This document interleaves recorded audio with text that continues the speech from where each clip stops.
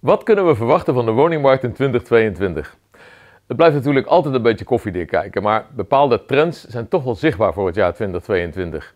Mijn voorspellingen en onze wensen voor de woningmarkt in 2022 krijg je hierna, dus blijf er even bij.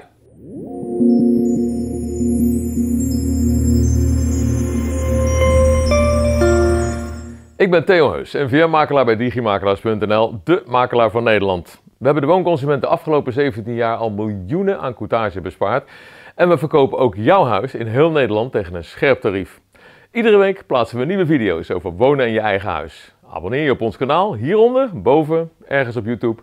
En klik op de bel. Dan krijg je bericht als er weer wat nieuws voor je klaar staat. De aantallen verkochte woningen in 2022 blijven laag. En dat komt hoofdzakelijk doordat er te weinig nieuwe woningen bijkomen en doordat er scheef aanbod is. Senioren kunnen niet doorstromen en voor starters zijn huizen veel te duur. En als dan ook de schenkingsvrijstelling, de zogenaamde jubelton, verdwijnt, dan komen starters waarschijnlijk nog moeilijker aan de bak. Maar het afschaffen daarvan heeft ook een positief effect. Er zal waarschijnlijk minder ruig worden overboden in de lagere prijsklassen. Omdat veel starters dan een deel eigen geld gaan missen. En zoals je weet, wat je meer betaalt dan het bedrag van de taxatie, mag je uit je eigen zak bijleggen, want daarvoor krijg je geen hypotheek. Hoeveel je als starter mee moet nemen aan eigen geld om een huis te kopen, dat vind je in deze video. De hypotheekrente zal in 2022 wel ietsje stijgen, waarschijnlijk niet meer dan een half procent. Maar dat heeft dan nauwelijks nog invloed op de huizenprijzen. De woningkrapte is veel belangrijker. De huizenprijzen zullen ook in 2022 verder stijgen. De NVM en ook wij verwachten dat de gemiddelde prijs van de bestaande woning binnen twee jaar naar 500.000 euro gaat. En dat betekent dat voor nieuwbouwwoningen de gemiddelde prijs rond de 550.000 euro uit zal komen. Het verschil tussen de prijs voor nieuwbouw en bestaande bouw loopt op dit moment behoorlijk terug. Bestaande woningen stijgen dus harder in prijs dan nieuwbouw. Maar een effect van de hogere energieprijzen kan zijn dat materialen duurder worden en dan stijgen vanzelf ook weer de nieuwbouwprijzen lekker door.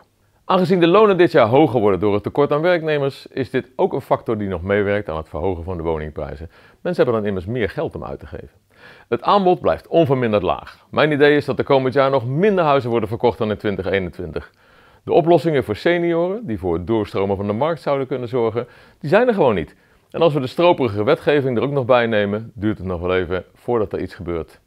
We moeten natuurlijk niet vergeten dat we er met z'n allen voor hebben gezorgd dat ouderen ruim 20 jaar langer op zichzelf blijven wonen. En dat is heel veel langer dan een jaar of 10, 15 geleden nog gebruikelijk was. Daar is totaal niet goed op ingespeeld. Senioren hebben leuke bungalows of appartementen nodig. Het geeft niet in welke wijk. Als er maar goed vervoer is en als er voorzieningen om de hoek zijn. En daar ligt volgens mij een nieuwe kans voor buurtwinkels in nieuw te bouwen wijken. Aangezien dat nu nog allemaal niet gebeurt, blijft de belangstelling voor de steden groot. En gaan daar de prijsstijgingen ook in 2022 rustig door, tot misschien wel weer 20%. Het nieuwe kabinet wil 100.000 woningen per jaar bouwen, ofwel 1 miljoen huizen in 10 jaar. We horen voorlopig even niets meer over de afschaffing van de hypotheekrenteaftrek. En dat is misschien wel jammer, want ook dat zou de prijsopdrijving in ieder geval een beetje kunnen remmen. Op het moment dat er een beetje lucht komt in de woningprijzen, zul je merken dat het aanbod ook weer stijgt. Dan wil iedere verkoper nog even snel van een hoge opbrengst profiteren. Het gevolg op dat moment wordt dat we weer normale onderhandelingen krijgen. Dus niet meer boven, maar dan gaan mensen weer beginnen onder de vraagprijs. Maar voordat het zover is, verwacht ik dat we eind 2023 zitten. En dan is er natuurlijk nog de nieuwe omgevingswet. Nou, die zou het allemaal heel veel makkelijker moeten maken om te bouwen. Alles digitaal opvraagbaar en inzichtelijk op één plek. Maar er moet daarvoor zoveel geautomatiseerd worden in het zogenaamde DSO, het Digitaal Stelsel Omgevingswet, dat gemeentes door de bomen het bos niet meer zien. Nu al is de invoeringsdatum opgeschoven van 1 januari naar 1 juli 2022. Maar ja, we zijn er al mee bezig sinds 2017, dus halfjaartje meer of minder, we hebben het eigenlijk over. De overheid laat zien dat ze volkomen incompetent is op het gebied van automatisering. Vooral door alle stelsels van regeltjes en reparatiewetten.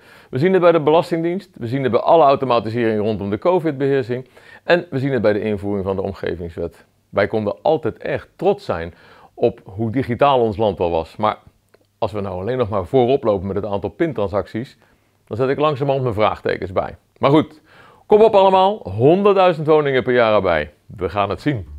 Heb je zin in een waardeindicatie van je huis? Gebruik de link in de toelichting of in de banner van ons kanaal.